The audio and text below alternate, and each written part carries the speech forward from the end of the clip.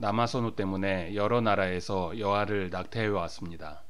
수십 년 전에는 한국에도 이런 현상이 심각했습니다. 자칭 진화심리학 팬인 조던 피터스는 이런 현상도 진화심리학적으로 설명할 수 있다면서 자랑질을 합니다. 여자가 임신과 수유에 부담을 지기 때문에 평생 낳을 수 있는 자식의 수가 상대적으로 훨씬 적습니다.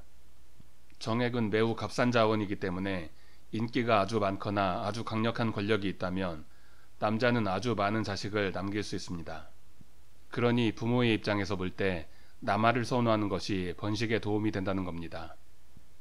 피터스는 번식에 대단히 성공하는 여자들과 번식에 대단히 성공하는 남자들을 열심히 비교합니다. 이것만 따져보면 남자들이 더 성공하는 것 같습니다.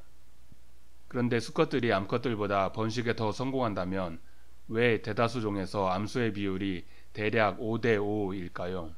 너도 나도 아들을 많이 낳아서 수컷이 훨씬 많지 않을까요?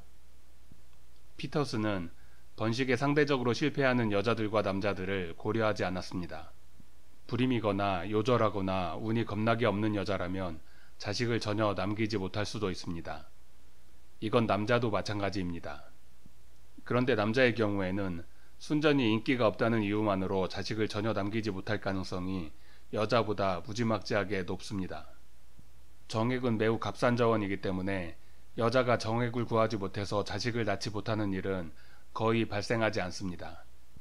여자는 남자로부터 정액만 구해서 자식을 혼자 키우는 전략을 쓸 수 있습니다.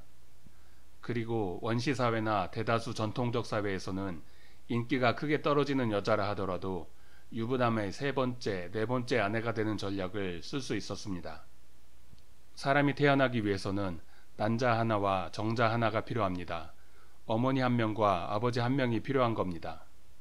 따라서 체세포 복제 같은 특수한 기술을 동원하지 않는 한 남녀 비율이 비슷한 개체군에서 평균적으로 남자의 번식 성공률과 여자의 번식 성공률은 비슷할 수밖에 없습니다. 그러므로 남아를 일반적으로 선호하는 것이 좋은 번식 전략이 될 수는 없습니다. 다만 부모가 우월하다면 남아를 많이 낳는 것이 유리하고 부모가 열등하다면 여아를 많이 낳는 것이 유리할 겁니다. 우월한 부모가 남아를 낳으면 번식 대박을 터뜨릴 가능성이 높습니다. 열등한 부모가 여아를 낳으면 완전히 쪽박 차는 것을 피할 가능성이 높습니다. 물론 실제로 인류가 그런 식으로 진화했는지 여부는 순전히 실증적으로 따져봐야 할 문제입니다. 어떤 형질이 번식에 도움이 된다고 해서 반드시 그런 방향으로 진화하는 것은 아닙니다. 조던 피터스님께 간곡히 부탁드립니다. 제발 진화심리학 팬에서 은퇴하십시오. 당신 같은 인간에게 현혹된 사람들 덕분에 진화심리학의 인기가 높아질 수는 있겠지만 학문적으로 볼 때는 진화심리학에 민폐만 끼칠 뿐입니다. 당신 추종자들이 진화심리학에 대해 당신같이 생각한다면 그것은 진화심리학의 자산이 아니라 진화심리학 폐기물 덩어리입니다. 누구나 어처구니 없는 실수를 할 수 있습니다. 하지만 피터스는 진화심리학에 대해 너무나 무지합니다. 그리고 자신이 얼마나 무지한지 깨닫기에는 너무나 멍청합니다.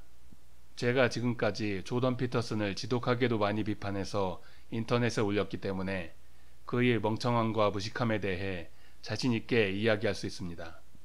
그래도 인기도 많고 책도 많이 팔아먹으니 참 좋겠습니다. 무식함과 멍청함을 무기로 책을 엄청나게 팔아먹을 수 있다는 면에서 그의 숙적인 페미니스트들과 똑 닮았습니다.